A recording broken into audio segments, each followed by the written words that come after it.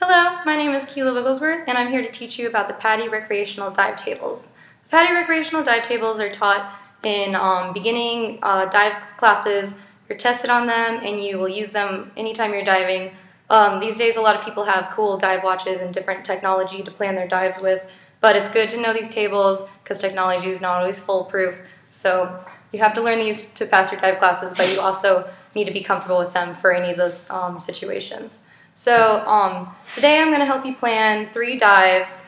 Um, I'm going to teach you how to use this table. You get these tables when you sign up for courses um, for diving and they come in like waterproof things you can keep in your BCD. Anytime you're traveling, they're really good and handy to have on you. Um, so the first thing you need to look at is how what your depth is.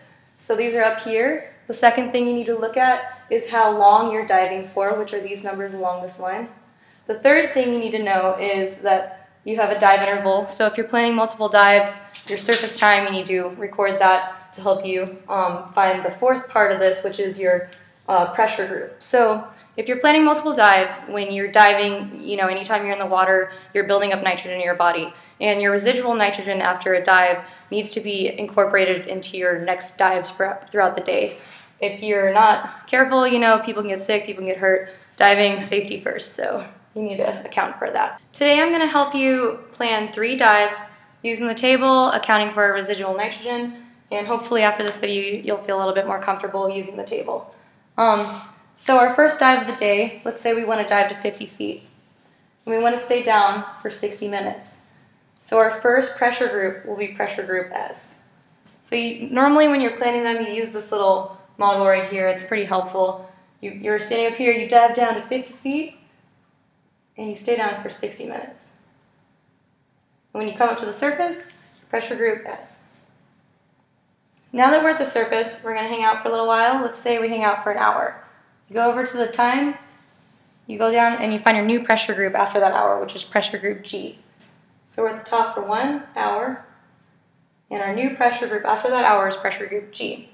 So for our next dive, you have to account for whatever depth you're going the new pressure group. So if we're going to go to 50 feet again,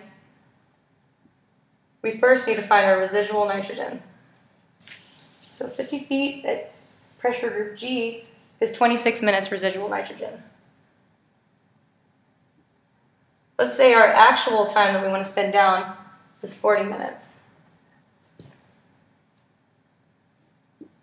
So the total time that you need to account for is going to be 66 minutes residual nitrogen. Even though you're only at the bottom for 40 minutes, you have to account for the residual nitrogen. So our new pressure group, looking at these two numbers, 50 feet for 66 minutes is new pressure group U. So we go to U, let's say we're hanging out at the top again for another hour. Our new pressure group after that hour is pressure group H. One hour, pressure group H. So if we're going to dive down to 50 feet for the third time, we have to look at our residual nitrogen first. 50 feet at pressure group H puts us at a residual nitrogen of 28. Let's say the actual time we want to spin down is 30 minutes. The total time will be 58 minutes residual nitrogen. So when we come up to the surface after that time,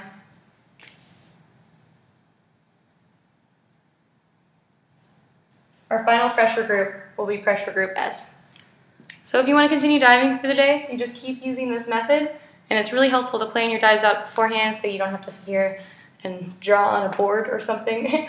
um, you just got to be safe with your dive planning and you need to make sure that you're accounting for this properly because people get hurt and safety is the most important thing with diving. Thank you for watching.